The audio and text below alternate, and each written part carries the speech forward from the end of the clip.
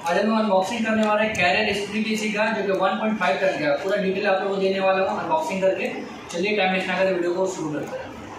ये friends career का Dura fresh 1.5 ton three star inverter AC आज इसका हम लोग अनबॉक्सिंग करेंगे, साथ ही साथ रिव्यू करेंगे। आप लोगों को मैं पूरा डिटेल देने वाला हूँ इस एसी के बारे में। शायद ये एसी अगर आप परचेज करते हो तो काफ़ी सारा आप लोगों को फ़ायदा मिलने वाला है। क्या फ़ायदा मिलने वाला है? चलिए मैं आप लोगों को एक्सप्लेन करता हूँ बढ़िया तरीके से, जिससे आप लोगों को बेनिफिट ही मिलेगा, ठीक है? सबसे पहले हम लोग इंडोर यूनिट को ओपन करते हैं तो यहाँ पर हमें स्टिकर मिलता है। स्टिकर में सीरियल, मॉडल, ये कौन सा गैस है? साथ ही साथ में कंपनी ने एक और बहुत अच्छा चीज़ मेंशन किया जो कि यहाँ पर दे सकते हैं जो भी प्रॉब्लम एसी में आता है, कुछ भी लिखाता है, ठीक है?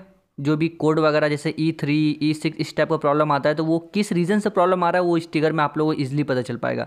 बाकी यहाँ इंडोर यूनिट का आप लुक देख सकते हो। मुझे तो बहुत बढ़िया लुक और बहुत सुंदर लगा। आप देख सकते हैं यहाँ पर ब्लैक कलर का जो इस टाइप का डिज़ाइन दिया है वाइट में ब्लैक का कॉम्बिनेशन बहुत ही बढ़िया लगता है और देखने में काफ़ी सुंदर लग रहा है हमें।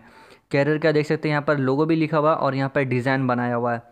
बहुत ही बढ़िया और बहुत ही प्यारा लग रहा है हमारे स्प्लिट ऐसी। इसके बाद मैं आप लोग कुछ और बेनिफिट चीज़ बताना चाहूँगा। जैसे कि ये जो ए सी है फ्रेंड्स ये आपका नॉर्मली 1.5 टन का ए सी डेढ़ टन का ए सी डेढ़ सौ स्क्वायर फीट में काम करता है, लेकिन ये ए सी आपका एक सौ अस्सी एक सौ अस्सी स्क्वायर फीट में बहुत अच्छे तरीके से काम करेगा। दो तरह का स्विंग आपको देखने को मिलता है, एक वार्टिकल एक हॉरिजेंटल हॉरिजेंटल जो अंदर वाला स्विंग होता है, वो उसे हम कहते हैं, और वर्टिकल जो अप डाउन हो रहा है, उसे हम कहते हैं, ठीक है? दो तरह का स्विंग हमें नॉर्मली देखने को मिलता है। बाकी ये हमारे पास जो प्लास्टिक आता है, उसमें हमें रिमोट मिलता है। रिमोट पहले वाइट टाइप का आता था। अभी जब से कंपनी ने ब्लैक किया है, और भी सुंदर लगने लगा रिमोट बाकी यहाँ पर दे सकते हैं, हमें मिलता है फ्लेयर नट वगैरह, जो कि ईजिली बहुत एसी में ऐसे फ्लेयर वगैरह सब बन करके आता है, लेकिन इसमें क्या टेक्नीशियन को अलग से बनाना पड़ेगा। बाकी वारंटी पेपर वगैरह है, और मैनुअल है, ठीक है? इस तरह का मिलता है, और वायर भी हमें देखने को मिल जाता है, जो कि अब देख सकते हैं, तीन मीटर का वायर देखने को मिलता है। एंड गई इसके बारे में आप लोग बताना चाहूँगा इंडोर यूनिट का नॉइज़ लेवल के बारे में। तो thirty seven D noise level आपको देखने को मिलेगा इंडोर यूनिट में। चलिए, इसका अंदर का कुछ और कंडीशन दिखाना चाहूँगा आप लोगों को। देख सकते हैं हम लोग सॉरी मैं आप लोगों को थोड़ा बैक साइड में लेकर के आ चुका हूँ, क्योंकि बैक साइड का भी नॉलेज लेना आप लोगों को ज़रूरी है। यहाँ बैक साइड में हमें मिलता है एक लॉक जिसे हम कहते हैं प्लेट भी, जो इंस्टॉलेशन के द्वारा हमें यूज़ करना पड़ता है। इस इंडोर यूनिट में आप लोगों को वाईफाई का सिस्टम भी देखने को मिल जाता है। इजली आप उसे कनेक्ट करना चाहोगे तो इजली कनेक्ट हो जाएगा, लेकिन आपके घर पे वाईफाई होना अलग से ज़रूरी है, तभी आपको कनेक्ट हो पाएगा। ये वायर हमें मिलता है। इंडोर यूनिट का वायर काफ़ी लंबा मिला है हमें, जिससे हमें ईजिली हो जाएगा। अगर सॉकेट थोड़ा दूर भी रहेगा इसलिए हमारा काम हो जाएगा। ये हमारा पाइप आप देख सकते हो थ्री एट का पाइप हमें देखने को मिला है और एक क्वार्टर का पाइप है, जिसे हम वन फोर भी कहते हैं। इसके अंदर एयर सील रहता है, मैं आप लोगों को बताना चाहूँगा। नाइट्रोजन टाइप का एयर सील रहता है। जो कि कंपनी सील करके बेचता है तो जब भी इस जूस मैं खोल रहा हूँ, ये ढक्कन को, बहुत ईजिली आप आराम से खोलो, ताकि ये एयर ईजिली वो निकल पाए। नहीं तो एक बैग खोलेगा तो बूम सा आवाज़ करेगा। बाकी यहाँ ड्रेन पैप है हमारे सामने। ड्रेन पैप भी लेंथ बहुत बड़ा है उसका, छोटा कंपनी ने नहीं दिया है तो दीवार थोड़ा पंद्रह इंची के भी रहेगा तो इसलिए हमारा ड्रेन पैप बाहर चल जाएगा। ये लॉकिंग का सिस्टम ऊपर का आप देख सकते हो। ऊपर में लॉकिंग का सिस्टम दिया हुआ है। बहुत अच्छी तरीके से आप देख करके समझ पाओगे। बाकी ऊपर का जो साइड का है फ़िल्टर हमें ऊपर के साइड में तक देखने को मिलता है, जिस तरह से पहले के भी एसी में आ रहा था, उसी तरह का डिज़ाइन आपको।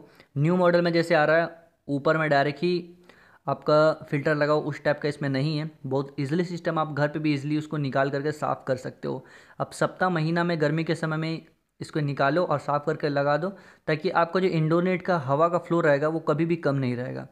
ये थ्री स्टार का रेटिंग जैसे मैंने स्टार्टिंग में बताया, वही थ्री स्टार का रेटिंग के साथ आपको देखने को मिलेगा। थ्री पॉइंट आप देख सकते हो सिक्सटी थ्री इसका आई स्टार रेटिंग है। मतलब आई स्टार रेटिंग जो है फ्रेंड्स, बहुत ही बढ़िया है, बहुत ही बेस्ट कहेंगे आप, हम लोग इसको।